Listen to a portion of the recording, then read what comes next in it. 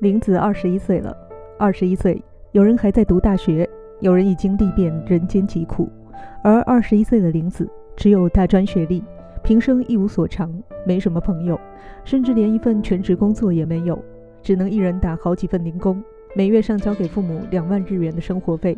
一起在咖啡店兼职的栗子注意到了玲子的窘况，便提议一起合租，分摊费用。玲子迟疑了一下，点头同意了这一提议。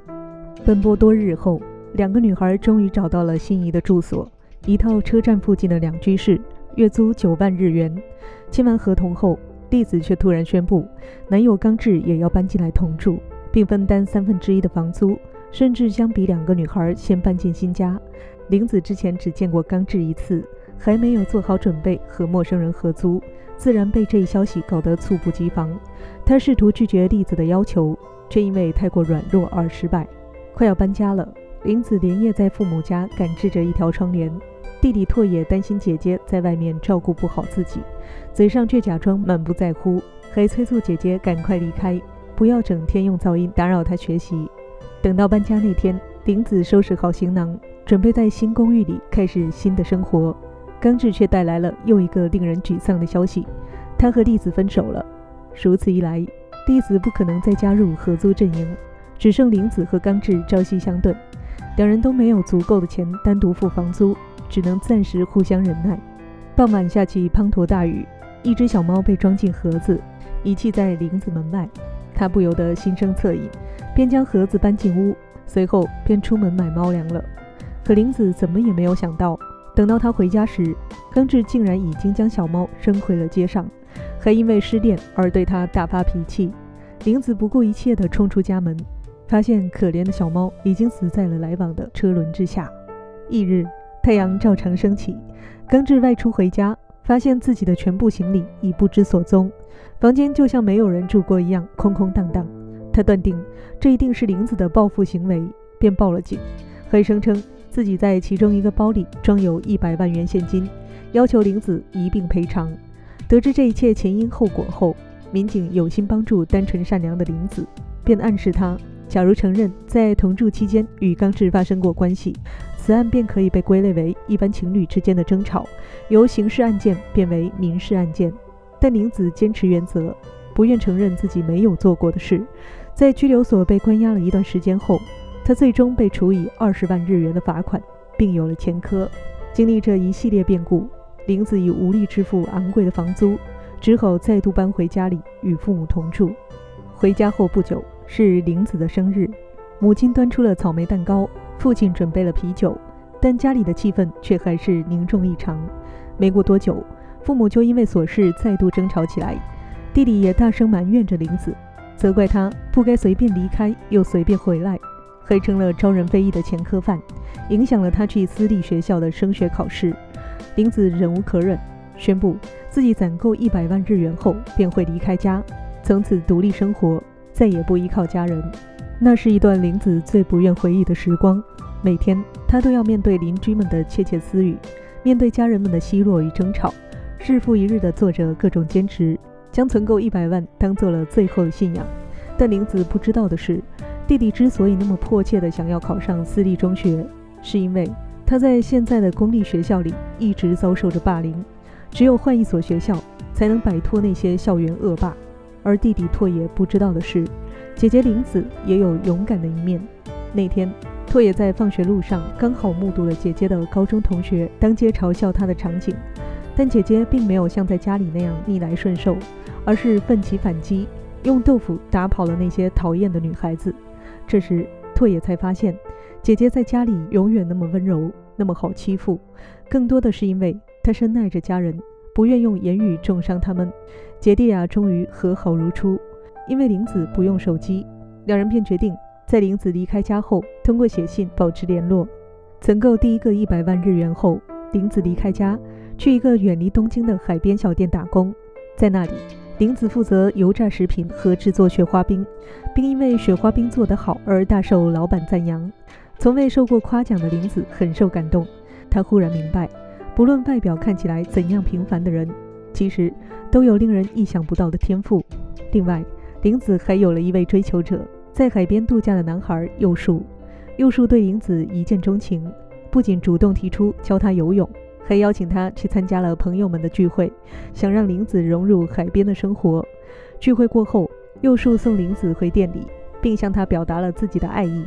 但玲子认为，两人相识不过几天，甚至连对方的姓名都不清楚，这样就谈情说爱，未免有些奇怪。存够第二个一百万后，他便离开了海边小店，也淡出了幼树的生活。夏天就这样过去了，属于玲子的只剩泛着海水咸味的回忆，以及一封又一封寄给拓野的信件。这一次，玲子选择在一个美丽的小山村度过秋天，并在当地饭店老板白石的介绍下。成了藤井阿姨家的摘桃帮工，继续打工存钱。不仅如此，藤井阿姨还盛赞了玲子的摘桃技术，说她是天生的桃子女孩。久而久之，村里人都听说藤井家有一个美丽的年轻女孩做帮工，也听闻了桃子女孩的美名。村长灵机一动，决定让玲子担任村里的形象大使，去电视节目上推销这里的桃子，促进经济发展，改善村民们的生活。这一提议虽然听起来不错，却让玲子十分为难。一来，她天生内敛，不擅长社交，更不要说去电视上宣传了；二来，她曾有前科，也许会给村民们带来负面影响。藤井阿姨家还有一个老实巴交的儿子明南，虽然性格内向，却对玲子照顾有加。他提醒玲子，如果真的不想成为桃子女孩，就要勇敢坚决地拒绝村长，否则最后一定会身不由己。在明南的鼓励下，玲子鼓起勇气拒绝了村长的提议。没想到，村长竟召开村民大会，想利用舆论的压力逼玲子就范。而一听说玲子不愿为山村代言，村民们立刻翻了脸，说他这种做法是歧视乡下人。即使有明男出面保护，各种污言秽语还是扑面而来，压得玲子喘不过气。他不得不对着话筒，大声说出了自己有前科的事实。随后逃离了村民大会。秋天还没有过完，玲子也没有存够一百万，就不得不离开了这里。临行前，好心的藤井阿姨给了玲子丰厚的薪水，叮嘱她好好照顾自己，不要在乎别人的流言蜚语。而明南则送给玲子一袋自家的桃子，当做临别礼物，并开车送她去了车站。玲子坐在车里，一边吃着桃子，一边望着渐渐远去的山村，忽然明白。人与人之间一旦熟悉，就会暴露出一些难堪的事实，这也就是他现在还无法在一个地方久留的原因。下一站是一座距离东京一小时车程的小城，林子租下了一间新公寓，并在合同保证人那一栏填上了弟弟拓野的名字。通过中介打来的确认电话，拓野意外得知了姐姐现在的住址，而林子也在一家购物中心的园艺区开始了新的打工生活。和他共事的是同样二十一岁的男孩中岛。中岛还在一所大学攻读心理系，这份工作只是兼职。在他的帮助下，玲子很快便适应了新工作。不久后，其他部门的同事准备举办一场联谊，并邀请中岛和玲子一同前往。两人都是不善社交的人，但为了促进同事关系，只得尴尬应允。不出意外，联谊刚进行完第一场，中岛便找借口先行离开。顺便将玲子也解救了出来，还送她回了家。放着这个男孩骑着单车远去的背影，玲子发现自己恋爱了。不久后，中岛主动邀请玲子一起喝咖啡，在他面前，玲子第一次敞开心扉，讲述了自己存够一百万日元就搬家的原则以及他的来龙去脉。可话刚说完，玲子就悔之不迭，她害怕这些过往的经历会让中岛讨厌自己。便匆匆逃离了咖啡店，中岛急忙追了出去，安慰着玲子，并鼓起勇气向她告白。一向被抛弃的玲子，从未想过有一天会遇到真正彼此相爱的人，不禁又惊又喜。两人就这样在一起了。恋爱初期的日子总是那么甜蜜美好，玲子变着花样给中岛做好吃的，并不时住在那里过夜。但没过多久，这份平静便被另一个女孩的出现打破了。那女孩名叫志代，不仅是园艺区的新员工，还是中岛的心理系学妹，十分活泼可爱。渐渐的，中岛开始经常晚归，态度冷淡，工作时也不再那么关心玲子，而是将大部分注意力都放在了志代身上。更让玲子感到诧异的是，中岛不仅向经理要走了他的值班表和工资表，还开始频繁向他借钱，并且经常私下和志代见面。两人外出吃饭、游玩时，几乎所有的开销都落到了玲子头上。终于，玲子醒悟了，她不愿相信中岛是为了钱才跟他在一起，也不愿相信中岛竟多次让他为他和其他女孩的约会买单。但玲子还是鼓起勇气，当面和中岛提了分手。回家后，玲子忽然发现信封里多了一封来信，来自弟弟拓野的回信。信中，拓野第一次向姐姐讲述了自己在学校被霸凌的经过，但这一次他没有一再忍耐，而是勇敢反击了对方。不仅如此，想到那天勇敢和坏女孩们作战的姐姐，拓野还放弃了去私立中学的想法，决定不再逃避。继续留在公立学校读书，不让姐姐失望。末尾，拓也叮嘱姐姐有时间给父母打几个电话，他们其实也很担心他。看到这里，玲子泪如雨下。原来他一直都在逃避现实，却还是弟弟心目中的英雄。玲子忽然明白，维持家人与朋友关系的关键，并不在于保守秘密，而在于勇敢面对，而告别过去，告别爱过的人。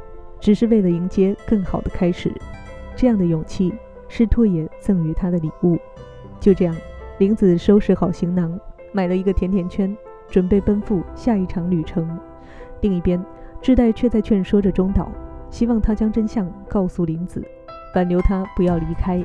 原来，中岛之所以一直向玲子借钱，是因为他不想让玲子太快存够一百万日元，害怕他会真的离开。可事到如今。一切都为时已晚。中岛一路狂奔了无数条街，却还是没能追上远去的玲子。因为有些感情一旦错过，就再也回不来了。而玲子清楚的知道，眼前的这座小城，她不会再回来。下一段旅途，她也不会再逃避。世间三千事，三千烦恼丝。夏末萤火尽，不妨入山林。林里闻旧怨。爱侣两相断，明朝赴他乡，韶华歌未央。我们都曾经是年轻的玲子，在旅行与逃离中慢慢长大，经历过青春的阵痛、离别的眼泪，再微微一笑，重新出发。或许，这就是成长的意义。故事配老酒，明朝再聚首。生活是藏在电影里的诗，故事是藏在诗中的风景。我在等诗。也等你。